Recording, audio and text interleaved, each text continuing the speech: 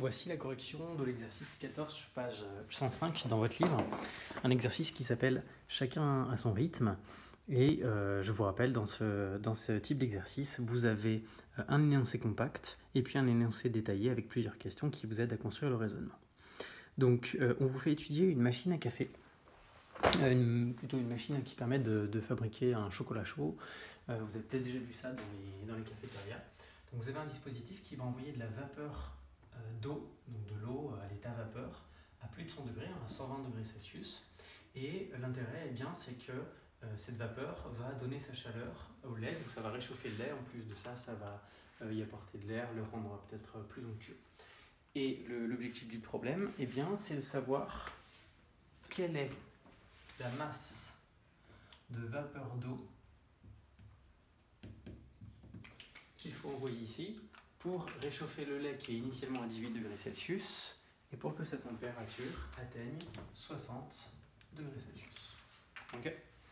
Donc d'abord, je vais donner des éléments de réponse pour euh, l'énoncé compact. Et ensuite, euh, on corrigera euh, l'ensemble des questions. Alors, si on doit construire notre raisonnement, il faut se, poser la question de savoir eh bien, quels échanges de chaleur il y a et comment on peut calculer chacun de ces échanges de chaleur. Donc, ce qu'on peut comprendre, c'est que la quantité de chaleur que le lait va recevoir, elle, c'est une donnée qui est positive. D'accord?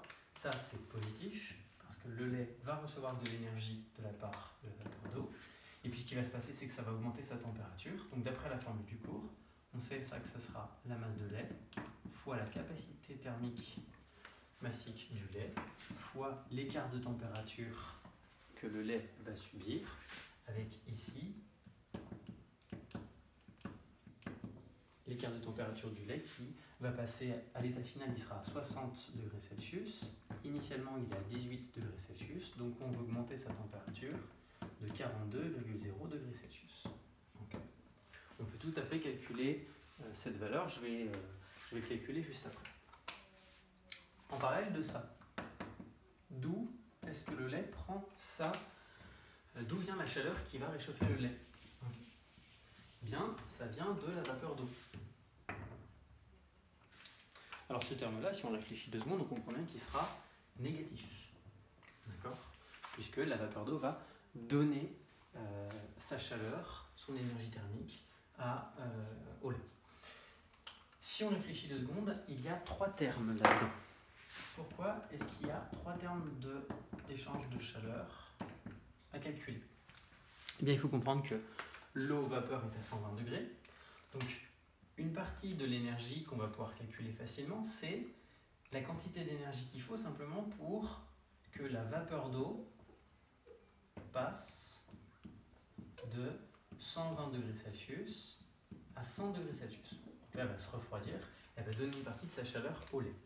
On peut la calculer facilement, je vous rappelle, puisque ça sera la masse de vapeur d'eau, donc c'est ce que je cherche, j'appelle ça MV ici, fois la capacité thermique de la vapeur d'eau, fois l'écart de température, qui ici sera de 20 degrés Celsius.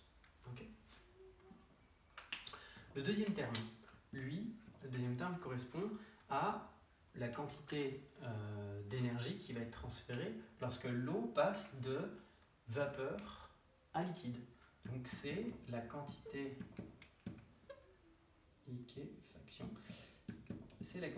euh, d'énergie qui correspond au changement d'état. Et puis enfin, après liquéfaction, donc l'eau est devenue, elle est passée de l'état vapeur à l'état liquide. Et enfin, cette eau qui est devenue liquide, elle est à 100 degrés Celsius. Donc mon eau liquide va encore céder de la chaleur au lait puisqu'elle va passer de 100 degrés Celsius à 60 degrés Celsius. En fait, il y a trois termes. Il y a ce terme-là, ce terme-là qui est la masse de vapeur d'eau multipliée par, si on regarde les données, eh bien c'est l'énergie massique de liquéfaction de l'eau. Et puis enfin, le dernier terme, c'est MV fois cette fois-ci capacité thermique de l'eau liquide, puisque maintenant j'ai de l'eau liquide, non plus de l'eau vapeur, fois delta T2, delta θ2, pardon. Donc je vous rappelle, dans ce cas-là, quand c'est la vapeur d'eau qui passe de 120, à 122, à so- de 120 degrés Celsius à 100 degrés Celsius, delta T1 sera de moins 20 degrés Celsius. Hein, bien sûr, ici j'ai un moins 20 degrés Celsius, puisque euh, la température finale c'est 100 degrés Celsius, la température initiale c'est 120 degrés Celsius, donc ça fait ça moins ça, moins 20 degrés Celsius.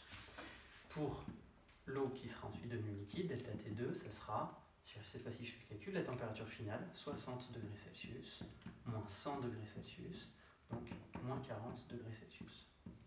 Ok Et je vous rappelle que l'inconnu dans tout le problème, c'est ça, qui est en facteur des trois termes. Ok Alors reprenons maintenant le raisonnement. On a dit qu'il y avait deux termes. L'énergie gagnée par le lait, qui est positif, l'énergie fournie par la vapeur d'eau qui s'est décomposée, qu'on a décomposée en trois parties pour la calculer, qui est négative. Et on utilise une hypothèse de l'énoncé, on vous dit, on suppose que les transferts thermiques se font uniquement entre le lait et la vapeur d'eau. C'est-à-dire que toute la chaleur que donne la vapeur d'eau va au lait. Dans ce cas-là, ça veut dire que la quantité de chaleur que reçoit le lait plus la quantité de chaleur qu'a fournie la vapeur d'eau, c'est égal à zéro. L'un est négatif, l'autre est positif. Ou, dit inversement, on peut dire que la quantité de chaleur qu'a reçu le lait, c'est moins la quantité de chaleur qu'aura fourni toute la vapeur, la vapeur d'eau qui vient. Ok, donc lançons-nous maintenant dans le calcul. Pour ceux qui voulaient euh, faire l'énoncé compact, vous pouvez le faire à partir des équations que j'ai données. Là, on va reprendre vite fait les questions dans l'ordre, dans la méthode, euh, dans l'énoncé détaillé. Ah, dans l'énoncé détaillé, en fait, ils nous font construire ce raisonnement progressivement. Dans la première question, ils nous disent calculer l'énergie reçue par le lait pour s'échauffer de 18 degrés Celsius à 60 degrés Celsius. Donc ça, c'est ce que j'ai fait au tout début. Je l'ai appelé Q lait. ok On a dit que c'était la masse de lait fois la capacité thermique du lait fois l'écart de température. Et je vous rappelle, on avait dit que l'écart de température, pour passer de 18 degrés Celsius à 60 degrés Celsius, eh c'était 60,0 moins 18,0. Donc ça faisait 42,0 degrés Celsius. Il nous manque quelques informations quand même. Euh, quelle est la masse de lait? On ne nous la donne pas directement dans l'énoncé, on nous donne le volume de lait. Faut utiliser une autre équation. On sait que la masse de quelque chose, c'est égal à sa masse volumique fois son volume. Pourquoi j'utilise cette formule-là? Parce que j'ai le volume qui m'est donné dans l'énoncé, on dit 22, 220 millilitres de lait, et puis surtout j'ai la masse volumique du lait. Je vais faire ce petit calcul intermédiaire. On dit que pour le lait, c'est à peu près comme l'eau, c'est 1,00 kg par litre, multiplié par le volume de lait qui est 220 millilitres. Alors 220 millilitres, je fais une petite conversion, 220 millilitres, je vous rappelle c'est 0,220 litres. Ok, donc je fais mon calcul comme ça, ça me fait 0,220 litres. Donc ça me fait tout simplement euh, 0,22 kg. Ok. Un petit résultat intermédiaire que je vais effacer. La masse de lait, il fallait d'abord la calculer. 220 millilitres, c'est donc environ 220 grammes ou 0,220 kg. J'efface ça et je peux me lancer dans le calcul. Donc on a dit 0,22 kg de lait. La capacité thermique massique du lait, c'est à peu près la même que celle de l'eau. Me dit que c'est 4,18 fois 10 puissance. Euh, non, même pas kilojoules. Kilogramme moins 1, degré Celsius moins 1. Il ne me reste plus qu'à mettre. Donc là, j'ai ce terme-là ici, celui-là ici. Il ne me reste plus que l'écart de température. Le lait est chauffé de 42 degrés Celsius fois 42. Ok. Je fais le calcul.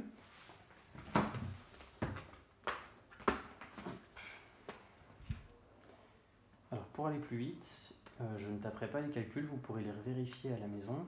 Je vais directement prendre les résultats qui sont donnés dans le, dans le corrigé. Et donc dans le corrigé, on vous dit que ça fait environ 38,6 kilojoules. Ok, on on est bien en kilojoules. Pourquoi? Parce que je vous rappelle, si je regarde les unités, se simplifient avec les kilogrammes moins 1, les degrés Celsius moins 1 se simplifient avec les degrés Celsius qui étaient là, et donc à la fin, j'ai bien un résultat en kilojoules. je vais garder ces deux. Là, j'ai répondu à la question numéro 1 qui me permettait de déterminer quelle était la quantité d'énergie thermique qu'il faut fournir au lait pour le réchauffer de 18 degrés Celsius à 60 degrés Celsius. En question 2, c'est 2A, 2B, 2C. On vous demande d'exprimer en fonction de la masse de vapeur d'eau injectée l'énergie libérée par cette vapeur d'eau en se refroidissant jusqu'à 100 degrés Celsius. Donc, si vous vous rappelez tout à l'heure, au début de la vidéo, j'ai expliqué que la quantité d'énergie que va fournir la vapeur d'eau, je l'avais décomposée en trois parties, Q1, Q2 et Q3. Et bien dans la question 2A, on me demande de calculer Q1, c'est-à-dire eh bien, euh, l'énergie libérée par la vapeur d'eau quand elle se refroidit de 120 degrés Celsius à 100 degrés Celsius. Donc je reprends Q1, c'est ça. Ce sera la masse de vapeur d'eau, donc c'est ce que je cherche, hein, que j'ai choisi de noter MV. Dans l'énoncé, il l'appelle M. Ah putain, ah, putain j'ai tout fourré.